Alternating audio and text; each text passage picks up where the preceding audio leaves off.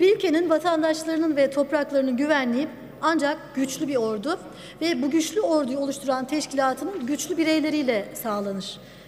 Mazisi 2200 yıla dayanan Türk Silahlı Kuvvetleri yalnızca bölücü terör örgütü PKK ile 46 yıldır, DAEŞ terör örgütüyle de son dönemde fedakarca mücadele etmekle kalmamış, onlarca yıldır devletin tüm organlarının içine sızmış, tarihimizin en büyük iç düşmanı Fethullahçı terör örgütü tarafından saldırılara, ihanetlere ve kumpaslara uğramış, kan kaybetmiş, yara almış fakat boyun eğmemiş ve diz çökmemiştir.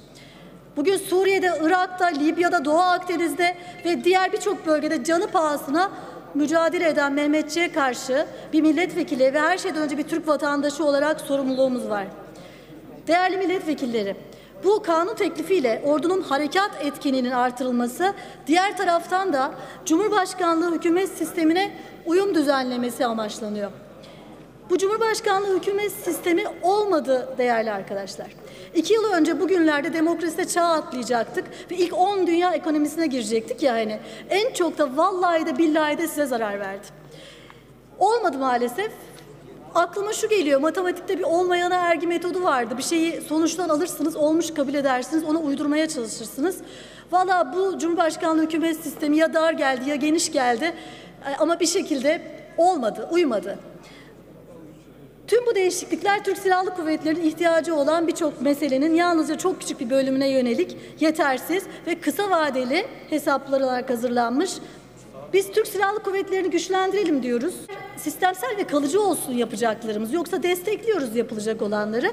İşte bu noktada askeri okullar işin kilit taşı ve çocuklarımızın en verimli çağlarında ordu disiplini altında alacakları askeri eğitimden yoksun bıraktırılması yanlıştır. Bundan dönmelisiniz, bundan dönmelisiniz, bundan dönmelisiniz. Türk Silahlı Kuvvetleri'nin gücünü çeşitli kurumlara paylaştırmaya hedeflendi okullar kapatılırken ve o günlerde belki makuldü ve gerekliydi de ama artık artık normalleşti her şey. Yeniden bir düzenleme vakti geldi diyelim.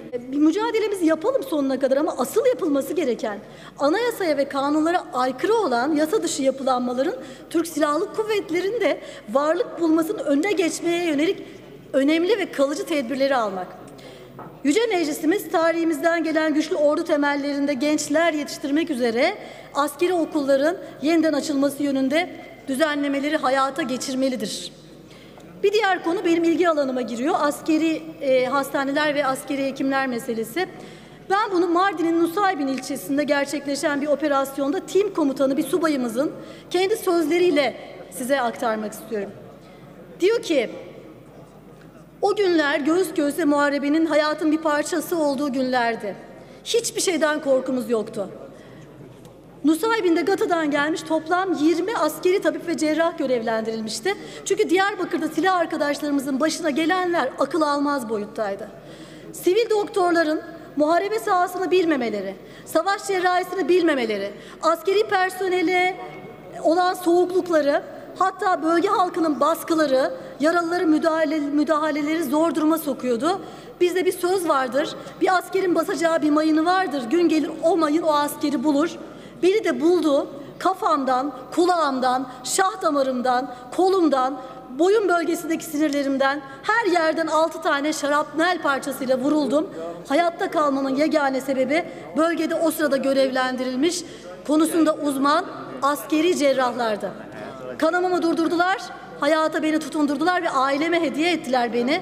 İşte diyor ki e, herhangi bir doktora emanet etmeyin lütfen. Bütün arkadaşlarımız bu korkuyu yaşıyor diyor. Değerli milletvekilleri bugün konuştuğumuz kanun teklifi Türk Silahlı Kuvvetleri'nin kurumsal yapısı ve askeri personele dair yığınla sorunun sadece birkaç tanesini gideriyor geçici ve yetersiz.